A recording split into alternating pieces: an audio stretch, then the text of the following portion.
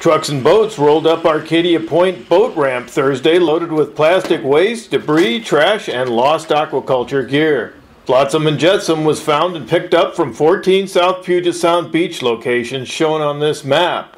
Becky Mabardy, Outreach and Project Coordinator for Pacific Coast Shellfish Growers Association, which sponsored the beach cleanup, explained why the work of more than 120 volunteers and 30 boats was necessary. This is the aquaculture industry's demonstration of their care for the environment and uh, connecting with the communities and, and picking up trash where trash is. The boat trailer parking lot near Arcadia Point boat ramp was converted to a temporary dump site where three dumpsters were brought in.